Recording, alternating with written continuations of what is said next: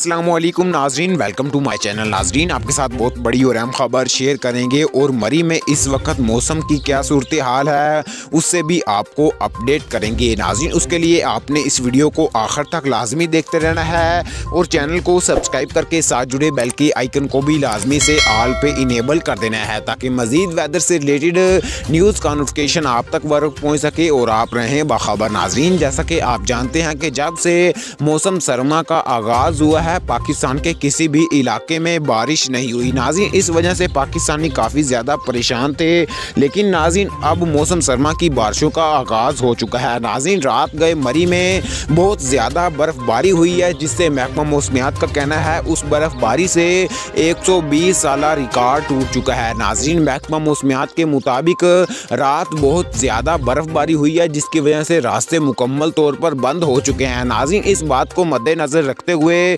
Government of Pakistan ने मरी को जाने वाले तमाम रास्ते इस वक्त बंद कर दिए हैं और सैर तफरी को जाने वाले लोगों को भी आगाह कर दिया गया है कि वहाँ पर बहुत ज़्यादा बर्फ़बारी इस वक्त जारी है।